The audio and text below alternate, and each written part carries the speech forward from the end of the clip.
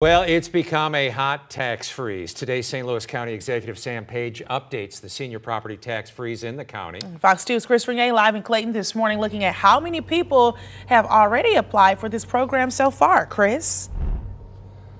A lot, Blair. Good morning to you. John, good morning to you as well. You know, the senior property tax freeze has just seen a tremendous response since the applications opened back on October the 1st. We are just outside the main county building here on South Central. This is where County Executive Page is going to update the public on this program a little bit later this morning. It is also one of the locations where you can apply for the freeze in person. Take a look at some video we captured earlier this month. People waiting quite a while, sometimes just hours, to apply in person for the freeze. You can also apply online one week into the process, back on October the 7th, the county releasing information saying it had already received more than 10,800 applications for the freeze. More than 9,200 of those had been submitted online.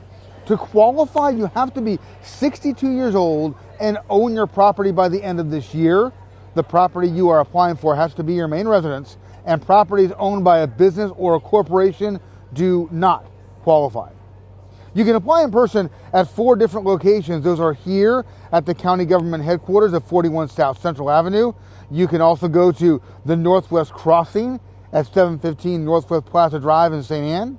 Down in South County, you can apply at 4546 Lemay Ferry Road. And out in West County, you can go to 74 Clarkson Wilson Center in Chesterfield.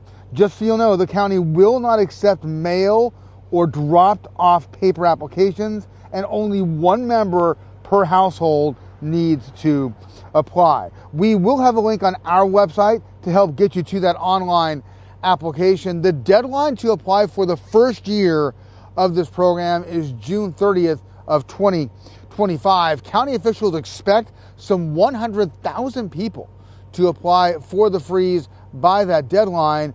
We will see what County Executive Page has to say about all of this a little bit later this morning. That news conference set for 10 a.m. For now, live in Clayton, Chris Regnier, Fox News.